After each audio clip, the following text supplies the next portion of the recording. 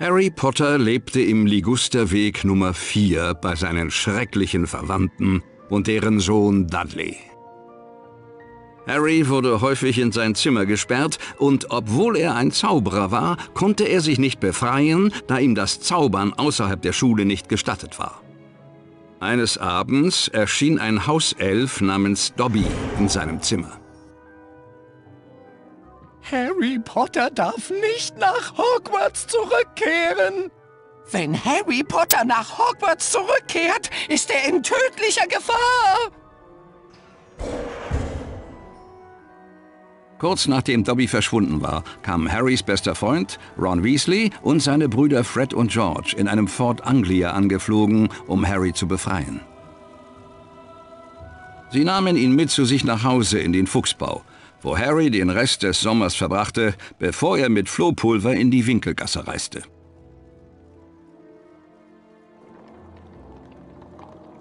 Harry traf sich mit Rons Schwester Ginny und ging mit ihr zu Flourish und Blotz, wo der berühmte Buchautor Gilderoy Lockhart sein neuestes Buch signierte. Heiliges Kanonenrohr! Ist das... Nein, sicher nicht! Er ist es! Das ist Harry Potter! Meine Damen und Herren, dies ist genau der richtige Augenblick für eine wichtige Ankündigung. Mit ausgesprochenem Vergnügen kann ich ankündigen, dass ich die Stelle des Lehrers für Verteidigung gegen die dunklen Künste an der Hogwarts Schule für Hexerei und Zauberei antreten werde.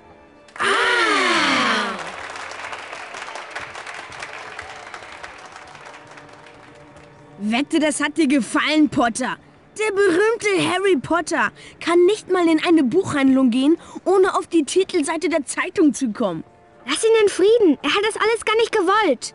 Potter, du hast ja eine Freundin. Ich vermute mal, deine Eltern werden einen Monat lang hungern müssen, um die ganzen Bücher für Hogwarts bezahlen zu können. Das ist das Mindeste, was ich tun kann, um den Armen und Bedürftigen zu helfen.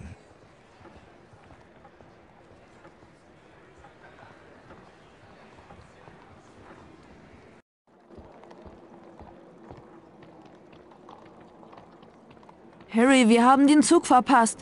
Der Hogwarts Express ist vor fünf Minuten abgefahren. Oh nein, was sollen wir nur tun?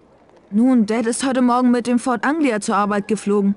Er steht in der Charing Cross Road. Okay, nur so können wir noch pünktlich zur Schule kommen.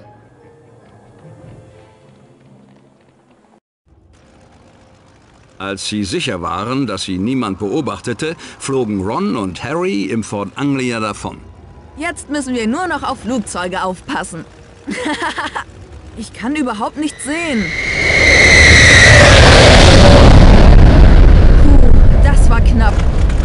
Wir sind sicher bald da. Uah, Ich glaube, das Auto gibt den Geist auf. Na komm schon, Auto. Na los, weiter.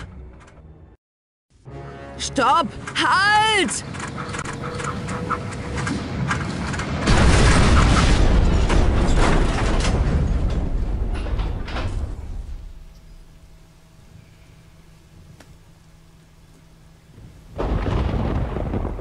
Ron! Ron, wo bist du? Hier bin ich, Harry. Die peitschende Weide hat mich im Griff. Mach dir keine Sorgen, Ron. Ich komme rüber und befreie dich. Halt durch! Mir bleibt auch gar nichts anderes übrig, Harry. So sieht's wohl aus. Aber bevor ich hier jetzt weitermachen, muss ich erst einmal ganz kurz den Sound leiser stellen. Das geht immer gar nicht hier. Das ist äh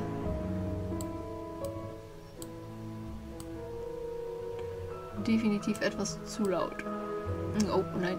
So. Ah, ich hoffe, das geht besser.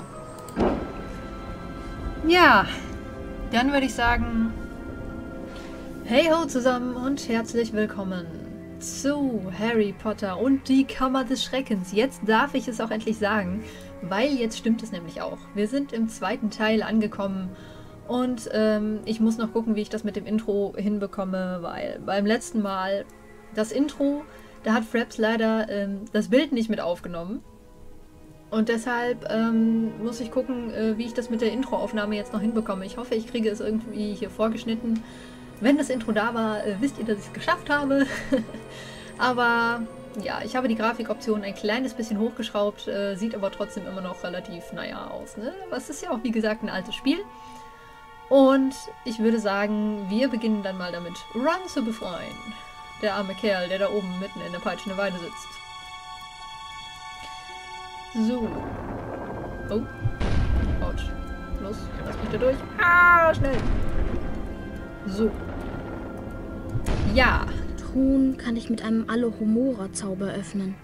Halte die linke Maustaste gedrückt, um einen Zauber anzuwenden. Oh, aber klar doch. Oh, diesen Sprecher mega genial. Ich liebe diese Sprecher einfach. Ja, das kennen wir natürlich von dem alten Teil auch noch, die äh, Wenn hüpfenden ich über Bohnen. niedrige Mauern klettern möchte, brauche ich nur gegen sie zu laufen. Ja, hier klettert er wenigstens ein kleines Könnt ihr diesen. Wasserspeier als Ziel verwenden, um Lumos zu aktivieren? Und hier muss ich nicht alle Zauber extra lernen, weil ich denke mal, sämtliche Zauber, die ich im ersten Teil schon gelernt habe, kann ich jetzt natürlich schon. Dies ist ein Speicherbuch. Geh durch es hindurch, um deinen aktuellen Spielstand zu speichern. Wenn du ohnmächtig wirst, spielst du automatisch an der Stelle weiter, an der du zuletzt ein Speicherbuch berührt hast. Wenn du ohnmächtig wirst, natürlich. So, ja, wie gesagt, Flipendo und die ganzen Sachen kann ich jetzt natürlich schon. Weil ich sie ja im ersten Teil gelernt habe, ne? So. Wow, die Mausempfindlichkeit ist ein bisschen hoch, daran muss ich mich noch gewöhnen. Ich wette, mit Flipendo kann ich das Gepäck bis an die Kante schieben. Poke. Hat geklappt. Glückwunsch, Glückwunsch. Ja. Ähm, ich habe es bisher leider noch nicht geschafft, ähm, die Pottermore-Seite wirklich Der so... Ast windet sich um mich wie eine Schlange. Ich habe es bisher leider noch nicht geschafft, die... Ah! Autsch, das hat wehgetan. Pottermore-Seite richtig vorzustellen, weil ich das mit der Aufnahme nicht so ganz hinbekomme. Ich habe zwar... Ähm, Ein Schokofrosch. Schokofrösche geben dir neue Kraft. Außerdem schmecken sie köstlich. ja, das Problem hier ist nur, dass die Schokofrösche weghüpfen. Ähm, ich habe leider das Problem... Mit Alohomora kannst du mit Magie verschlossene Dinge wie Truhen und Türen öffnen. Schön, dass er mir das erklärt, während er von der peitschenden Weide da penetriert wird. Ähm, ich habe zwar ein Programm, das ähm, den Bildschirm gut aufnimmt, aber leider den Ton nicht. Und gerade der Ton, finde ich, ist bei Pottermore so wirklich so wunderschön. Und das möchte ich nicht außen vor lassen. Das wäre wirklich schade. Ähm, dann hätte ich irgendwie das Gefühl, dass ich die Seite nicht richtig Prima, vorstelle. Harry. Versuch mal, ob du Flipendo auf diesen Ast anwenden kannst, um mich zu befreien. Ich glaube, da hinten ist was zum Verzaubern. Ja, sieht so aus. Danke, Harry. Das war sehr nett von dir. Ja, kein Problem. Dafür sind Freunde doch da. Oh nein! Nein, das Auto.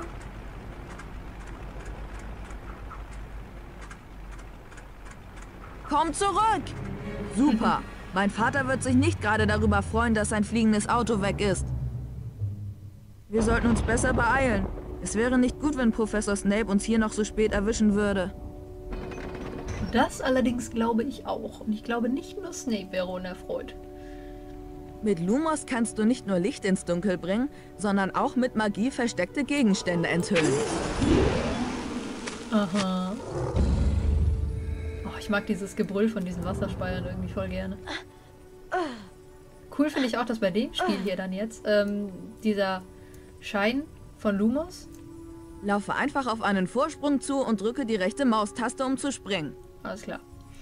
Versuch, Äh, alle Bohnen auf den Vorsprung einzusammeln, Harry. Dieser Schein äh, um den Zauberstab wird immer kleiner und wenn er ganz weg ist, ist Das der verhört die Lumos-Zauber auch Boxbohnen in allen Geschmacksrichtungen. Ich sollte so viele wie möglich davon sammeln. Ich kann sie später sicher noch gebrauchen. Glaube ich auch. Mit Flipendo kannst du diesen Steinblock nach vorne schieben. Steig dann hinauf, um auf den Vorsprung zu springen. Nintendo! Zack. Und zack. Jawohl. Okay. Bah. Tada.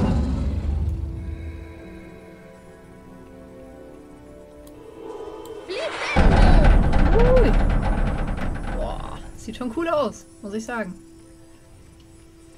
Ja, im ersten Teil was zu erklären ist noch ein bisschen schwierig, finde ich.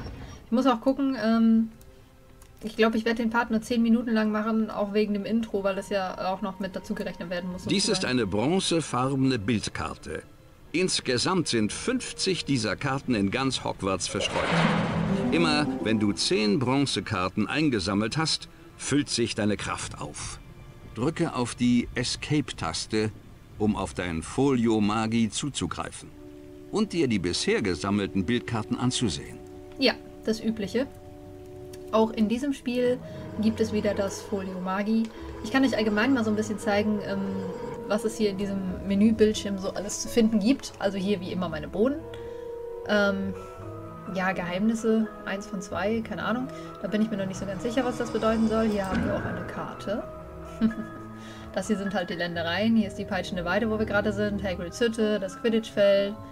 Ähm, hier sind noch äh, Kräuterkunde, die Findo-Herausforderungen. Und hier geht es halt nach Hogwarts rein.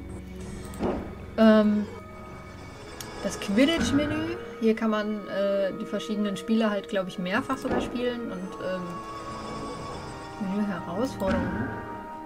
Hm, naja, wird sich mit Sicherheit später noch erklären. Hier das hier ist der Mega-Power-Trank, den man später bei Snape lernt. Dafür kann man überall auf den Ländereien die Zutaten zusammensammeln und kann sich dann eigene Mega-Power-Tränke zusammenbrauen.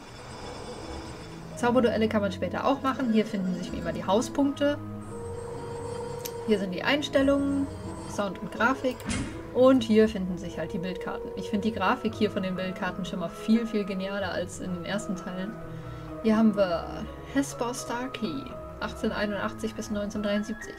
Hexe, die erforschte, wie sich die Mondphasen auf die Herstellung von Tränken auswirken. Finde ich auf jeden Fall schon mal sehr interessant. So, wie gesagt, 50 von diesen Bildkarten gibt es. Dann gibt es noch einmal 40 silberne Bildkarten, die auch noch überall verstreut sind. Und es gibt nochmal 11 goldene Bildkarten. Äh, ich bin mir aber immer noch nicht ganz sicher, wo und wie ich die alle finden soll. Ähm, einfach weil es so umfangreich ist, dieses Spiel.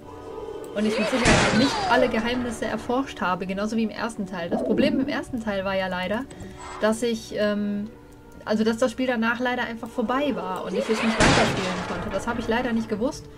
Deshalb ähm, war es für mich halt nicht mehr möglich, im Nachhinein noch äh, Bildkarten einzusammeln. Deswegen muss ich gucken, dass ich das vielleicht im Nachhinein noch, noch mal hinkriege und das Spiel einfach nochmal quasi bis zu dem Punkt spiele. Und ich wollte, äh, war überlegen, ob ich eventuell, jetzt kommt bestimmt noch mal eine Sequenz. Wartet, ich erkläre euch das gleich. Es hat aufgehört zu regnen. Na, wenigstens sind wir trocken, wenn wir von der Schule verwiesen werden. Los, wir machen uns besser auf den Weg zur Schule. Ja, besser ist das. Ähm, ich wollte eventuell ein Video machen, wo ich ähm, im ersten Teil alle ähm, Fundorte von Bildkarten einmal gesammelt zeige. Sieh nur, all die Sterne. Oh, wunderschön. Ähm, also wie gesagt, wo ich alle Fundorte von Bildkarten einmal aufzeige und ähm, demnach vielleicht auch äh, dann anderen helfen kann, alle Bildkarten zu finden.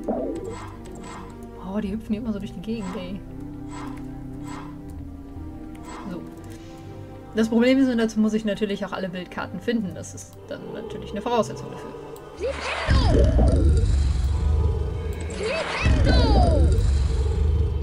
Schade, geht nur zweimal. Aber das wäre so eine Idee, äh, was ich noch äh, an dem ersten Teil an Video machen könnte. Da hinten ist noch eine Truhe, die werde ich aber später holen. Jetzt gehen wir erstmal rein.